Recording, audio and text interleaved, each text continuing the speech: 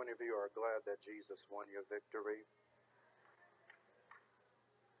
The thing that scares us, the thing that unnerves us, it took him, but it couldn't hold him. We're subject to death, but death cannot hold us because it could not hold him. Some people think that Jesus got up because the angel called him.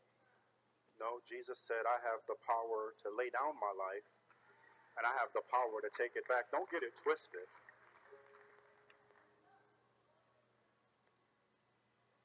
I lost, but he won.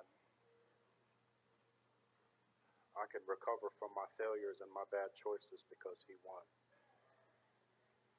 My second and third and fourth bad choices, I can come back to church because he won. You've been saved your whole life. Can you turn with me to 1 Kings chapter 17? 1 Kings chapter 17. We'll read together verses 7 to 10. 1 Kings chapter 17 If you're like me and you didn't memorize the books of the Bible, but you sang them, it's Genesis, Exodus, Leviticus, Numbers, Deuteronomy, Joshua, Judges, 1st and 2nd Samuel, 1st and 2nd Kings. I failed that part of the exam in seminary. You got to take a Bible entrance exam. I got an 81, you had to get an 80 but that part I failed. Got to list all of the books of the New Testament in order. I'll read in your hearing. I'm reading from the New International Version of the Bible. Whatever version you have, you can read along with me. If you don't have it, it's also on the screen. The Bible reads Sometime later, the brook dried up because there had been no rain in the land. Then the word of the Lord came to him saying, Go at once to Zarephath in the region of Sidon and stay there. I have directed a widow there to supply you with food. So he went to Zarephath. When he came to the town gate, a widow was there gathering sticks. He called to her and asked, Would you bring me a little water in a jar so I may have a drink? Bow your heads with me as we consider for our time together. I've got to go. I've got to go. Father in heaven, we remember when it was 1999. We didn't know what was going to happen when the clock struck midnight. Here we are almost 20 years later. We woke up this morning because of your grace. We woke up this morning because of your mercy. We woke up to a new day because you saw fit in your infinite wisdom to give us another chance. We ask that you open our eyes and our heart to see you in a new way. In Jesus' name we do pray. Amen. The brook is dry. The ravens are not coming back. The water and meat that was delivered FedEx has been canceled. The cool breeze that air conditioned Elijah's skin now seems warmer. The sky has turned to brass, but it had been scorching the earth for the last three years.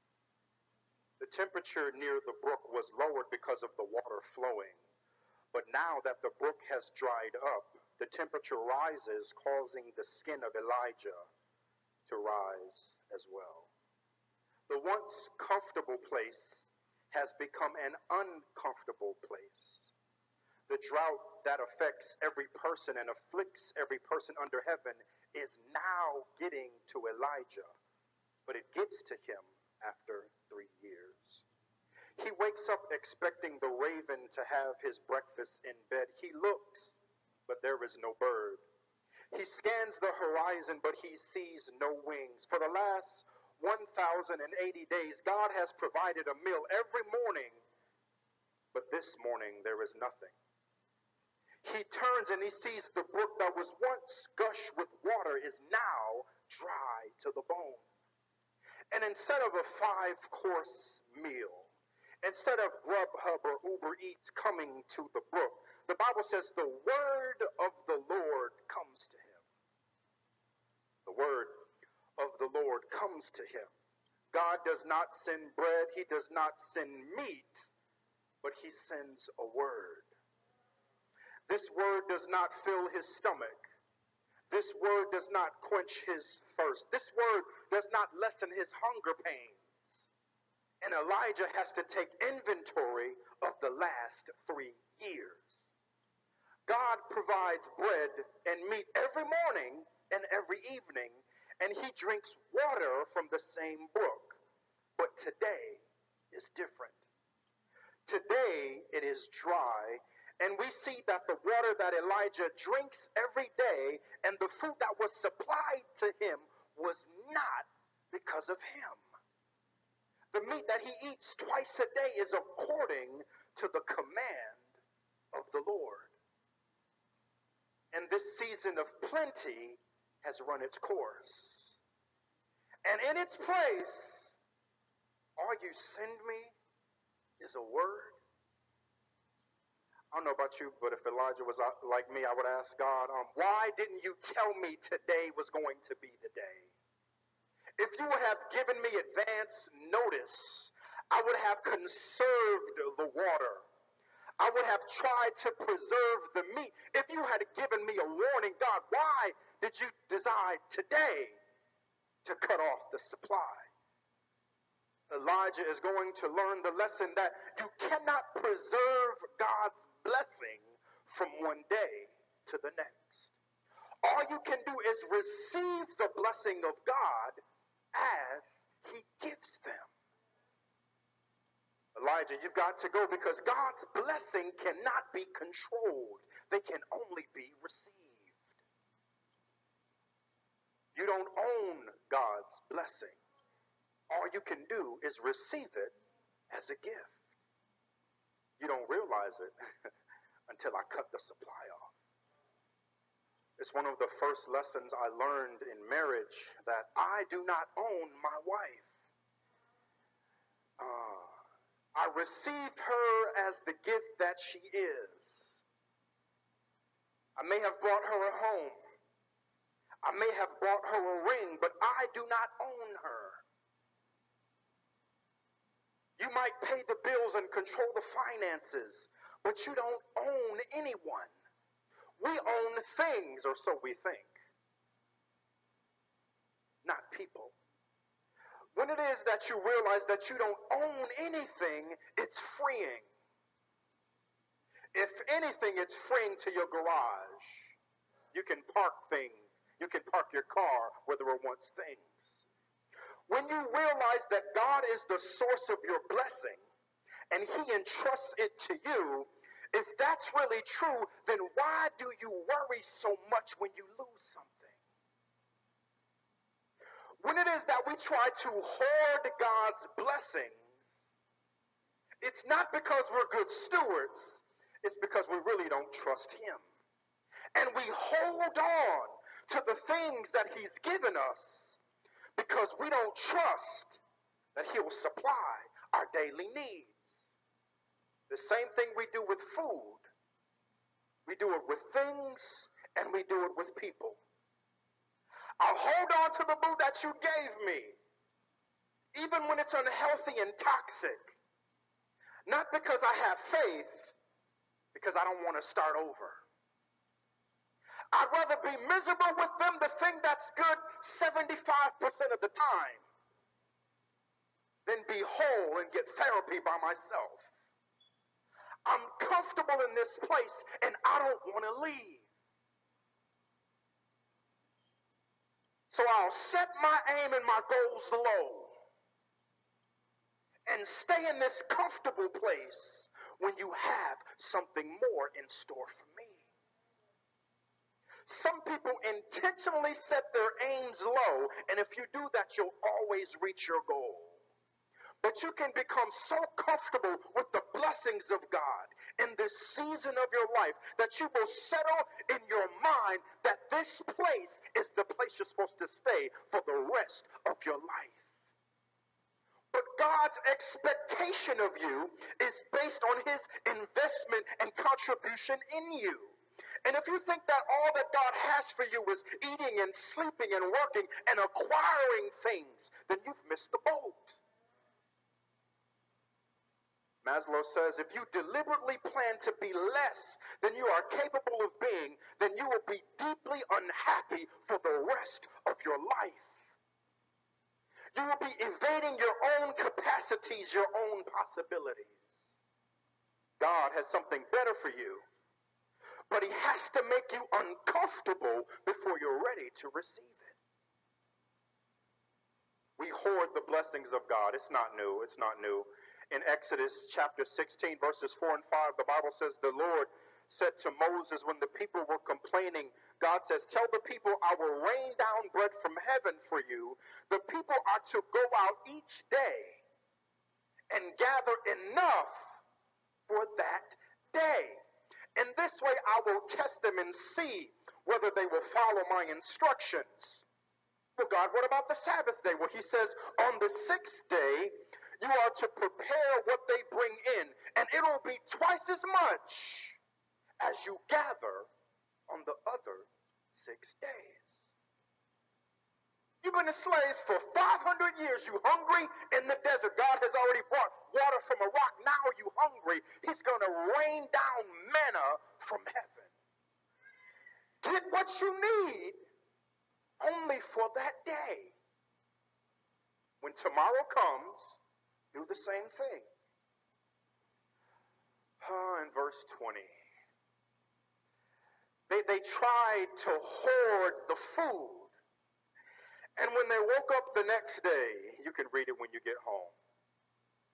If you even hold on to good things for too long, they will begin to stink and they will begin to rot.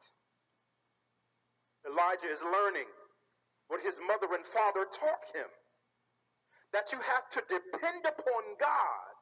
But now, Elijah, you're going to learn for yourself. We know where Elijah is from, but none of his pedigree or past history can help him now. He's a prophet who's prophesied to the king, but none of it helps him now. He's a prophet who's commanded the heavens to turn to brass but he still has to trust God for his daily needs. He speaks for God, but he still needs God to speak to him. When God blesses you, will you hoard his blessing or trust him for the next one? God gives you strength for the day's task. He gives you food for the day's need. They didn't have any refrigeration and walk-in pantries. God gives you enough, well, God gives you enough calories, ideally, to fulfill the day's responsibilities. God says, when I bless you, are you trusting me or the things that I give you? His parents taught him some stuff, but dependence upon God is learned and an experience with God. Verse 6 of 1 Kings 17 says, The raven brings him bread and meat in the morning and bread and meat in the evening, and he drank from the brook. It dawns on Elijah that he is subject to the very word that he speaks to Ahab. He tells the king that there'll be no moisture of any kind except at his word. But when the brook dries up, there's no abracadabra that he can speak to bring water out of nothing.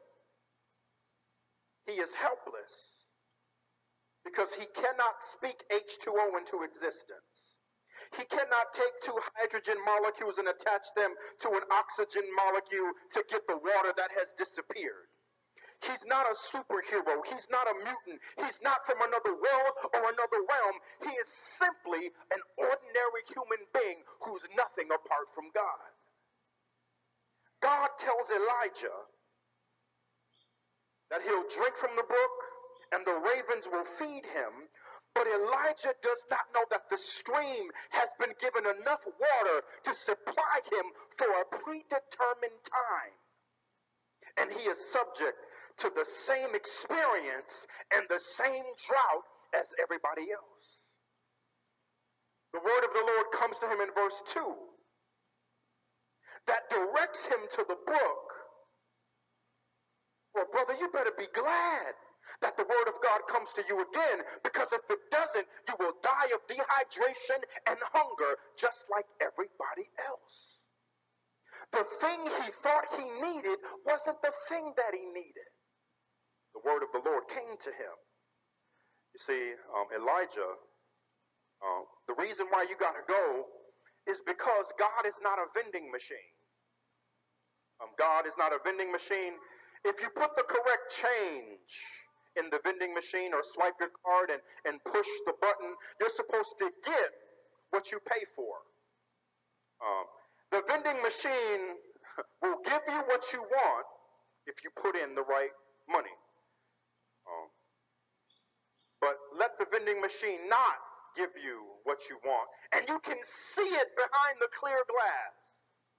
And you'll do like I did on Thursday at 125.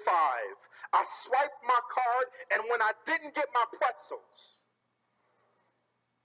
I didn't have cash. I began to shake the vending machine and kick it. And then when somebody came and they saw my badge, maybe it's just me. When you pay for something, you expect to get it. And if you don't get it, maybe it's just me, I'm going to throw a fit. God says, I'm not a vending machine. I'm not a genie in a bottle. I will give you what you need when you need it. But, Negro, you do not control me. I want you to trust me when I bless you. And I want you to trust me when your brook dries up. I want you to trust me in abundance. And I want you to trust me in drought. I want you to trust me when your stomach is full and when your stomach is empty.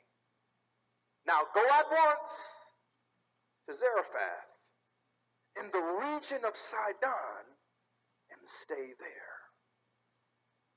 God's word kind of comes like mission impossible. God says, Good morning, Mr. Elijah. Your mission, Elijah, should you choose to accept it, is for me to speak to you and through you. As always, should you or any of your prophets should be caught or killed, remember the hazards of the job. This vision will self destruct in five seconds. Good luck, Elijah. I imagine if Elijah had a moment to think about it, he would try to get out. He would try to change occupations. But remember, God hasn't changed in the last three years. So I will leave to go where God is leading.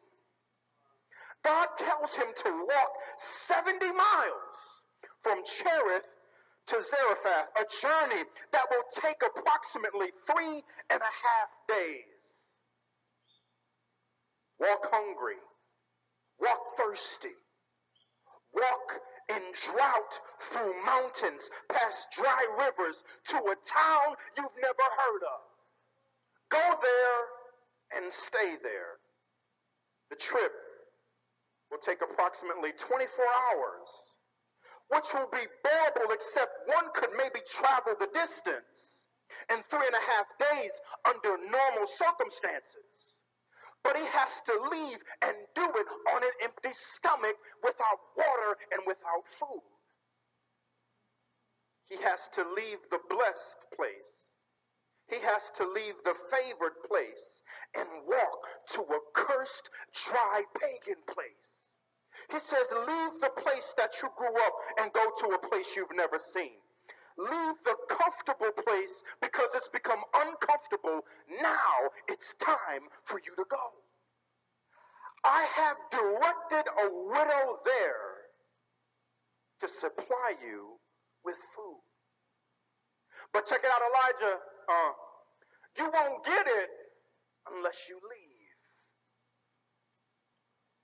Fact that there was a widow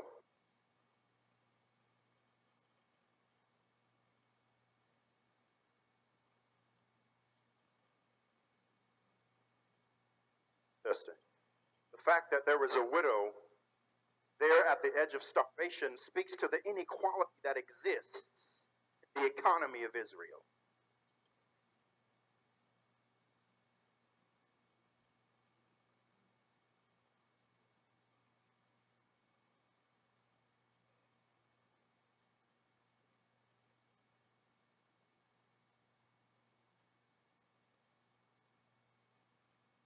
Testing.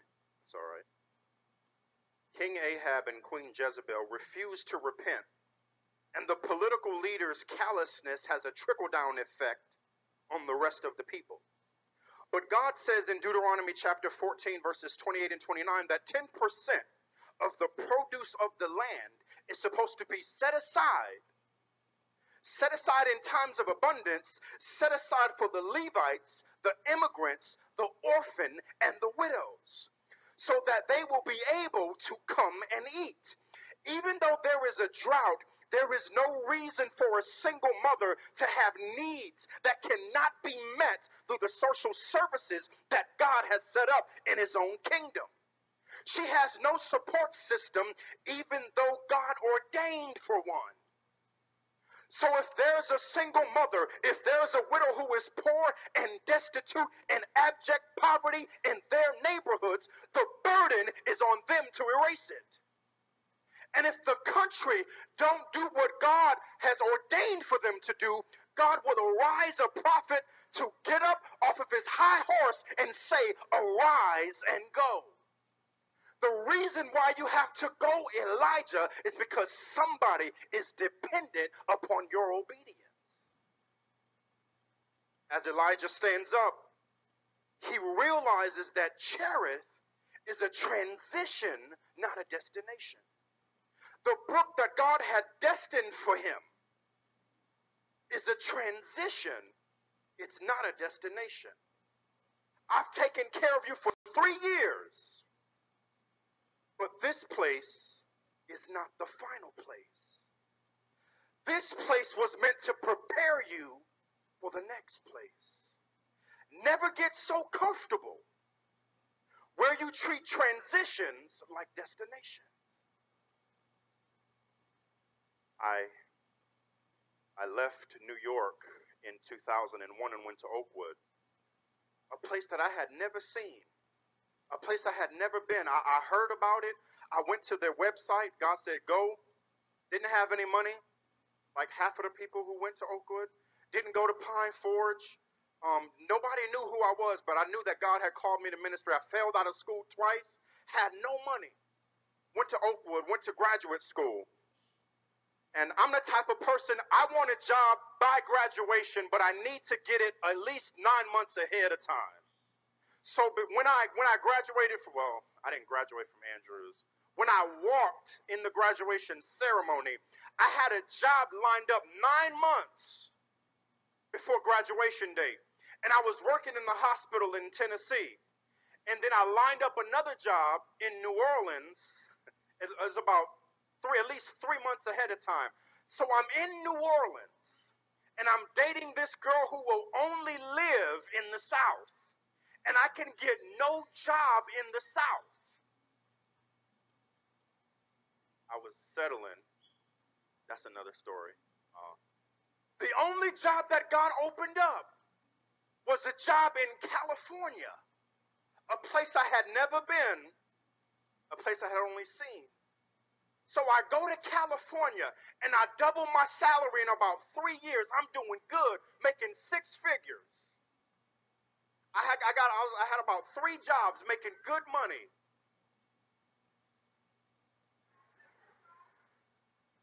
Then I met this nurse who lived in Orlando, Florida.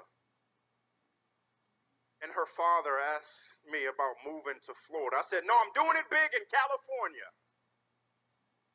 No, no, mm. I'm, I'm a director, I'm a supervisor. Y'all, as soon as I, the brook began drying up, and what I thought was a destination was only a transition period for to prepare me to come here. Now, if God says go somewhere else, um, that's another conversation. But don't treat transitions like destinations because of pride. You have to learn how to live your life singing the song, I'm a pilgrim, I'm a stranger, I can tarry, I can tarry only a night. God tells Elijah, I have another transition for you. You've been comfortable for three years, but the transition I have ordained for you, you're not ready yet. the transition is not really for you. I have commanded a widow to feed you, not so you can be full, but so you'll have enough strength to bless her. You've been in a drought, eating good. She's been in a drought too. You're depressed, wondering how you're going to make it. She's depressed and wondering how she's going to make it too. Both of you will die if you don't make a move. The place Cherith is a destination. It's not a destination, it's a transition. He says, I want you to go there to meet a widow. Uh, I want you to meet her. Check it out. Because if she don't make it, you ain't gonna make it. You are called by God. You are blessed by God, but your life will have no meaning if she doesn't make it. You won't die. She's going to feed you. You're ordained to bless her. But if you stay at your place of transition, treating it like a destination, then nobody will make it. You make transitions destinations because we only care about ourselves and protecting our own welfare. God says you got to go because you can't make it if she can't make it. There was a mother in Boston a few years ago. They lived in a high rise apartment. Uh, a young teenage mother in the high rise apartment, she had a toddler with her. And if you know anything about toddlers, you can turn your head for five seconds. They didn't climbed up on the high cabinets. You ain't even, they can barely walk, but they can climb. You gotta watch toddlers at all times even if you have the baby gates. Got to watch them at all times. Uh, she didn't know that the toddler went out to the terrace. Toddler went out to the terrace, and she went out and brought the toddler back in. But as she was coming back into the living room, the whole, impart- the whole apartment caught on fire. Her injuries were so severe that she might never be able to walk again. And she did what any mother would do. She grabbed her son and she jumped from the third story window as the fire inched closer. She had a choice to make when the fire was coming to her. But she took her baby and jumped out of a three story window, hit the ground. They interviewed her in the hospital.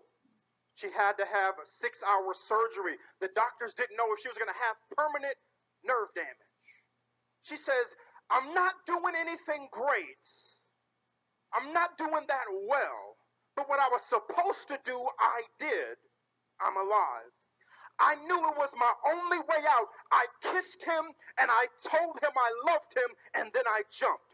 She lost feeling in her legs when she hit the ground. Then she had to use her arms to crawl out of the way of falling debris as the building burned. And she told the reporter, It's so worth it because my son is okay. I had to go through six hour surgery. I don't know if I'm ever going to walk again. But it's amazing to see him perfectly fine and playing with his grandma. The mother made a decision in her mind when she saw the building burning, and she says, I can't make it if he can't make it. I don't know if I can save myself, but I will make a choice to save him. I will choose for him to take my place. God says in Exodus 22, verses 22 and 23, He says, Don't take advantage of the widow or the fatherless. If you do, and they cry out to me, I will certainly hear their cry. We need all of people poor people, widowed, single mothers, able bodied. We need the unrighteous and the righteous. If you don't make it, then I can't make it. Elijah, you've got to go. to where you're going, it's not about you. But you don't realize it if you treat transitions like destination. She's struggling in silence while you're living under my blessing and my provision. You have a political and religious agenda with the palace. But I need you to leave your prophetic assignment and go meet the needs of a widow who's under drought and who's about to die. She's a single mother who's a widow. A widow is someone who's grieving the husband or spouse that has died grieving the past, but also grieving the future that won't come to be because of the financial responsibility that her husband carried with him to the grave. We grieve our past and we grieve our future. We grieve the anniversaries that we had, but we also grieve the parties that we won't be invited to. We grieve the partner that we lost, but we also grieve the children that we may not have with them. Elijah, you've got to go because this widow is carrying a burden and there's a chasm that nothing can fix because she has no marketable skills and now she's hungry just like you.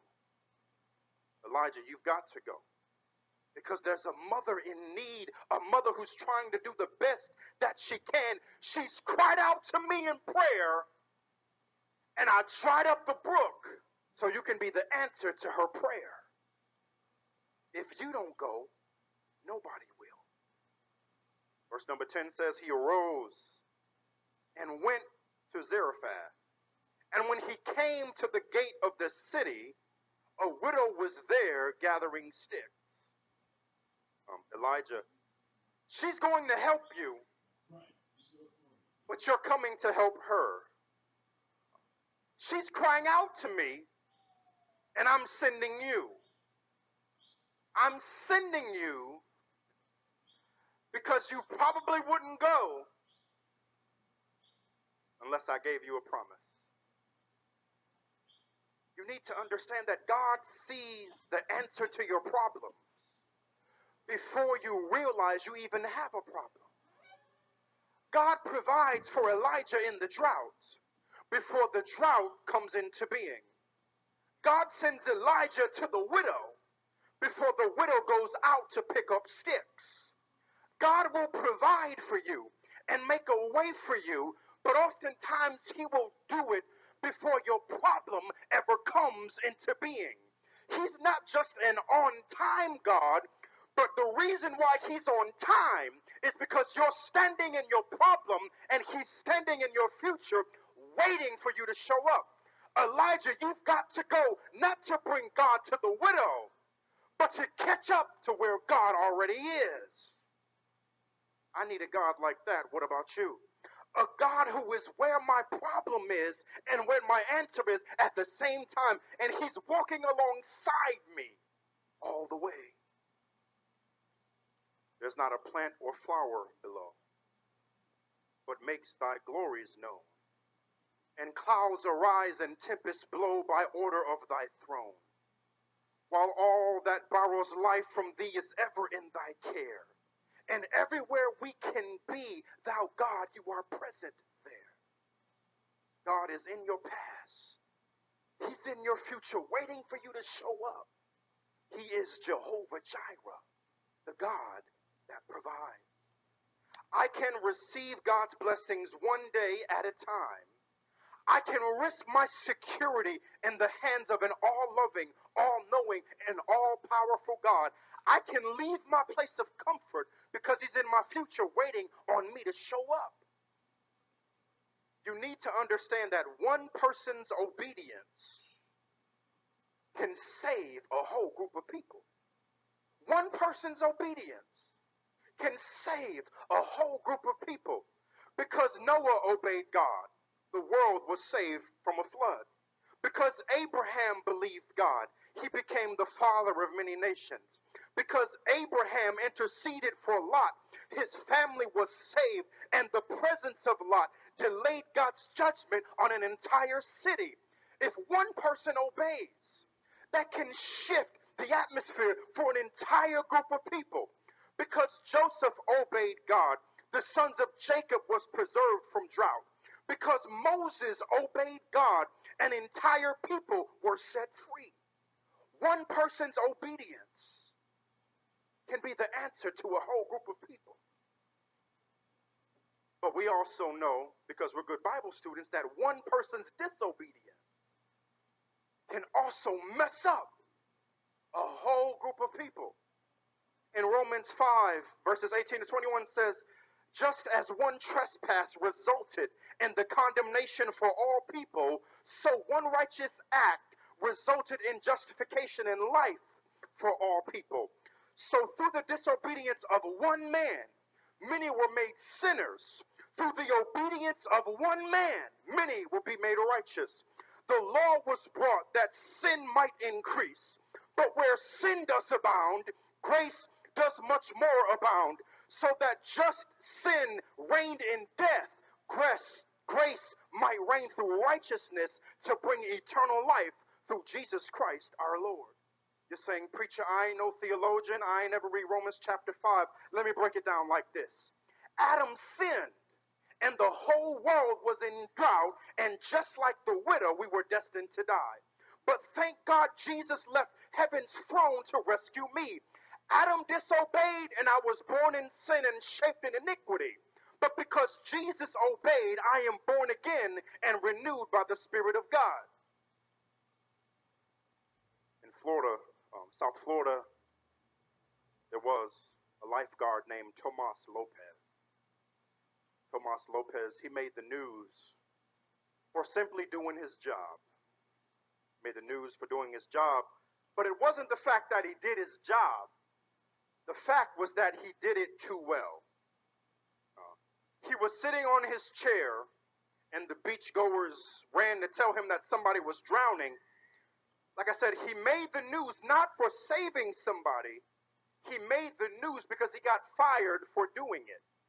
Company policy says that lifeguards cannot go beyond the perimeter of the beach they are responsible for overseeing. The man was 1,500 feet outside of his assigned zone in an area where signs were present warning visitors not to swim, and if they do it, it's at their own risk. Even though he was violating policy, Lopez ran into the ocean and pulled the struggling man ashore. He said, As soon as I grabbed the man's hands, I knew I was going to be fired. I knew I had broken the rule because when that happens, you're supposed to call 911 and hope they get there in time. The man did his job, helped somebody who obeyed, went beyond his job description, saved a man who broke the law, who didn't ask to be saved. He did it knowing the penalty. Like I said, I know you've been saved your whole life, but, but not me. I was sinking deep in sin and I was far from the peaceful shore. I was very deeply stained within, and I was sinking to rise no more. When the master of the sea, when he heard my despairing cry, he jumped up and he left his life jacket. He left his rescue donut. All he had was his divinity wrapped in humanity. And when he left the boundaries of heaven and he came to the Milky Way, and as he approached Earth's atmosphere, the devil says, You're entering my zone, you're intruding upon my world. But Jesus said, Negro, get behind me, Satan. While I was drowning, he jumped into Mary's womb. And he was born of a virgin. And when I needed CPR, he died on Golgotha's hill. And when he got out of the borrowed tomb, he breathed life into my lungs. His divinity reached my gasping humanity. His oxygenated blood began pumping in my ventricles and atria. He rescued me from the water. When the demons tried to fire him, when they tried to discourage him, when they tried to make him turn around, he says, I'm going to save him come hell or high water. I'd rather be in hell with him than in heaven without him. When you touch him, you're touching the apple of my eye. I've got